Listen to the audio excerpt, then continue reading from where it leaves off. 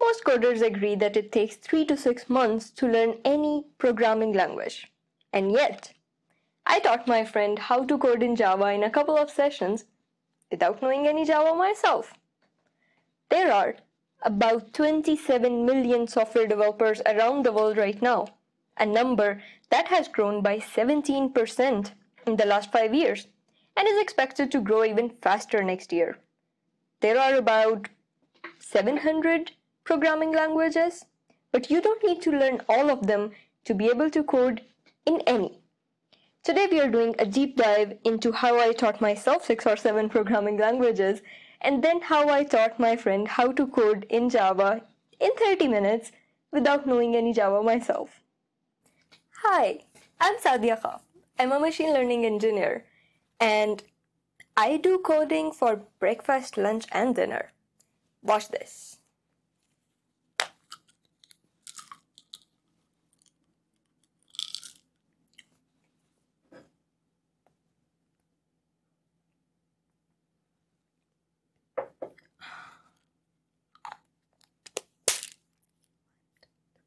Yep, just learned another language. But there are a few more steps involved to this process than this. Stay tuned till the end to find out.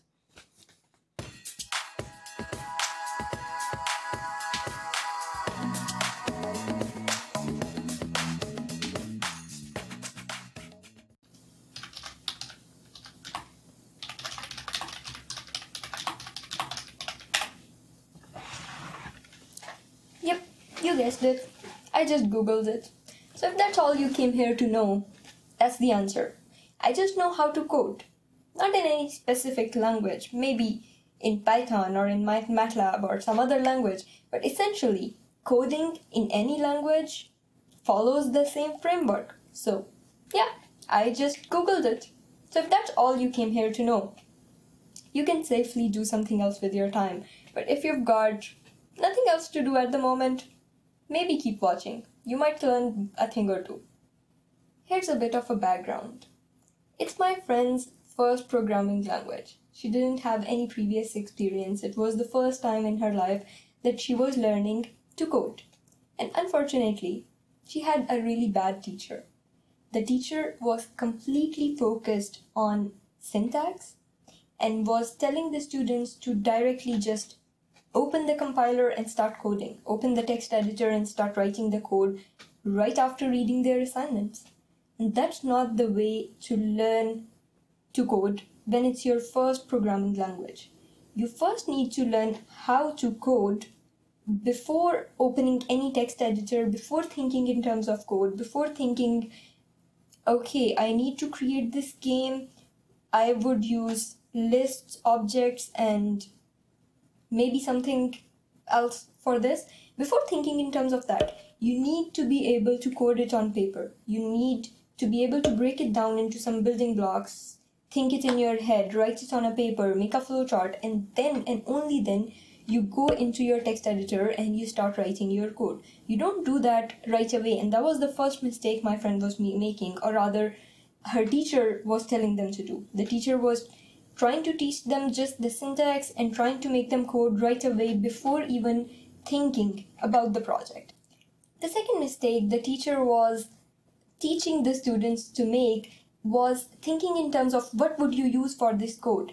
Reading the question reading the equation and then thinking okay i would use arrays for this or i would use a loop for this. Stop it. Stop it. Just stop it. Just just stop it. Stop it i think i need more coffee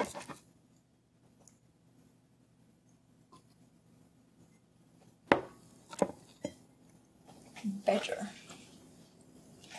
Here's why. Syntax is almost irrelevant when you're trying to learn a language. In any programming language, you have to go back to the basics first. You have to draw it on a paper.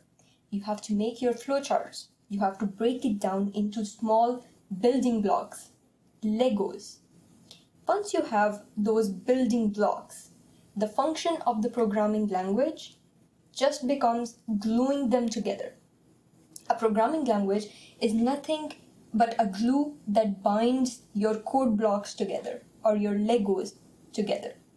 So, first, you have to break down your application into a flowchart, have a sequence of actions that you're going to take, and then break down each one of those steps into small, tiny Lego blocks that you're going to build up from the scratch using the glue of your choice. The function of a programming language is just to act as a glue. Now, inherently, some glues are better for some purposes than the others. A wood glue would be good for woodworks, versus a glass glue would be good for glass glues. But that's all. Essentially, they're all just glues that bind different types of materials together. You can use your building blocks, use the glue, and then build something beautiful with it. That's all there is to any programming language. Don't make it more than that. Also, always remember if you can do it on paper, you can code it. So, first, code all of your projects on paper in the form of a pseudocode, in the form of a flowchart, in the form of a paragraph in English, in any language you want. Write it on paper. If you can do it on paper, you can code it. The only good thing there was was that she had a project. So she wasn't just trying to learn programming for the sake of learning programming. She had a project she was working towards, so she knew what she wants to do with the pro- project, with the programming language. So that was the only good thing there was to it, basically.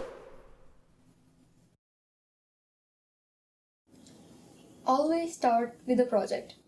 Know what you want to do. Why do you want to learn a programming language? What's your ultimate goal? What's your project about? After that, when you have the when you have that project, what it does is it's it basically eliminates the need for learning unnecessary things. If you only need to use integer variables in your project, you won't waste your time learning about lists or strings or arrays or tables or any other data types. You will only learn what's useful for you at the moment. After all, human brain only has a limited capacity. We can only store and process a limited quantity of information. So we might as well learn what's useful for us in the moment. Our information retention ability is surprisingly bad. Over time, we start forgetting whatever we learned and uh, we can only learn a limited amount of knowledge at a time. So, when you have a project, that makes learning much more efficient and quick because you're only learning what you need to implement in your project. After that, follow my framework. Do it on a paper. Write your code in terms of flowcharts, Lego blocks, steps in a paper. Then and this reminds me of my favorite quotation this week. I'm reading a book by Austin Kleon. It's called Steal Like an Artist. And he says in the book, Google everything. I mean everything. Google your dreams, Google your problems. Don't ask a question before you Google it. You'll either find the answer or you'll come up with a better question. And that's exactly right about learning programming languages. Once you've uh, broken down your your code into or your framework into steps, you will be googling the right questions instead of googling how to build an image processing engine. You will be googling stuff like how to create a variable in Python, how to write a loop in Java, or how to write an if else statement in C versus Java. So you will come up with the good questions to ask and you will be finding your answers much more quickly this way.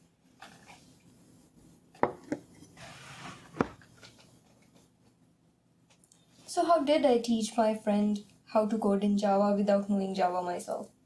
I took her assignment, I made her read the question, I told her how would you do it on paper. I told her, Give me your framework of doing it on paper. Make your flowchart. What would be your input? What would be your output? What would be step one in the process? Are there any steps that you would need to do repetitively for this particular project? Would you need to create a loop for that? What kind of conditional statements would you need to use in your project? Does your code run in a single branch from beginning to end? Or are there any conditions which are dependent on certain values? If this happens, then do this, otherwise, go to the other code branch.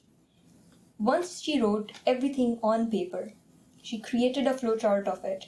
Then and only then I started asking her programming related questions or syntax related questions.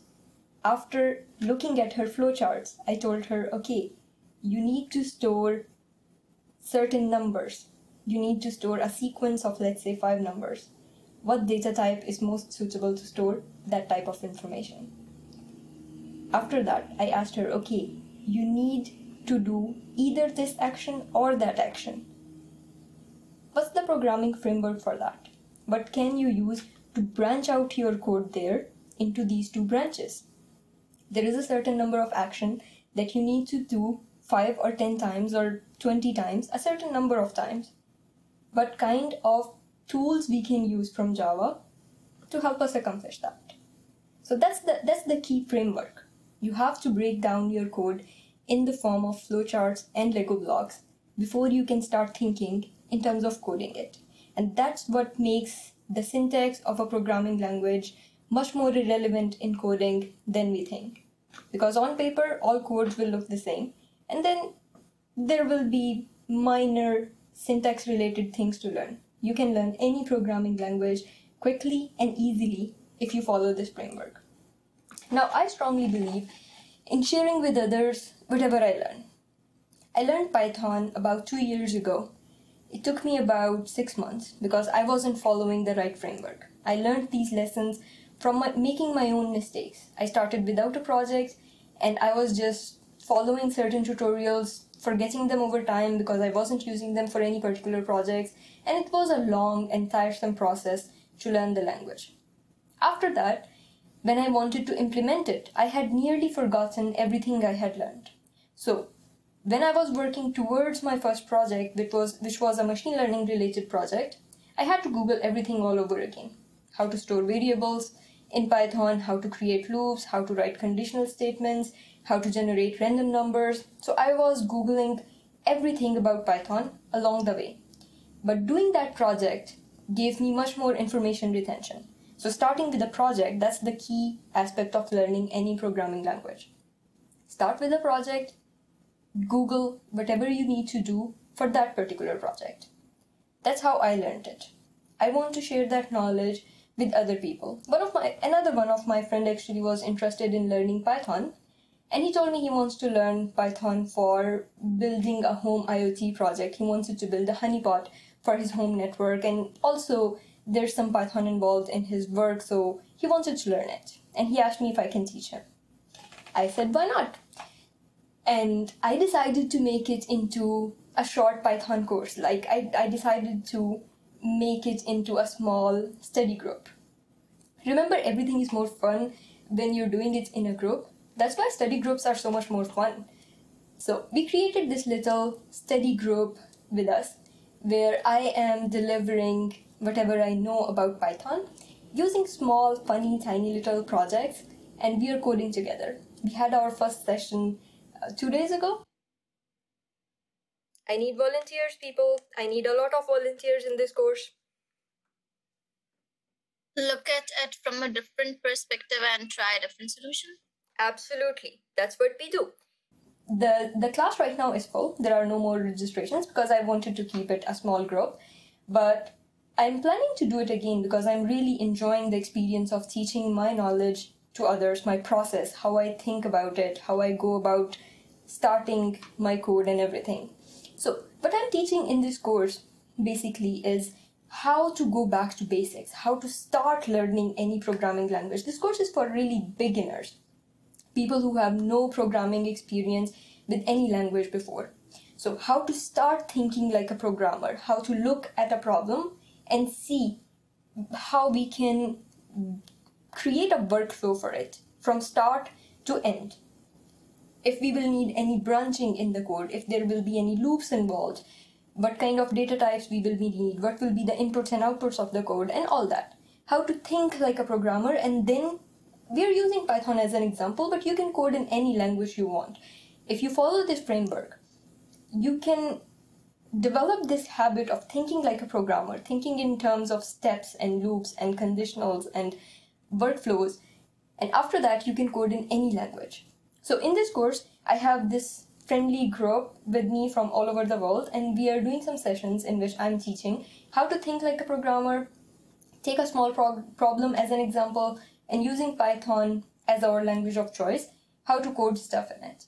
If you're interested in that, by the way, uh, go to my website, sadiakhaf.com, and you will find programming course sign up. It's completely free. I don't charge anything for it. I'm planning to do another course again in summer. I'm also planning to do maybe later an introduction to machine learning course because that's really my expertise. So if you're interested in any of this stuff, go to my website, sadiakhaf.com, and sign up for my newsletter, sign up for the waiting list for the programming course if you're interested, and that way you will stay in touch with me whenever I'm offering another course and whenever we whenever I have more places available for people to register. By the way, the first session of our little Python class is up on my YouTube channel, and if you want, you can check it out. I will put the link above here.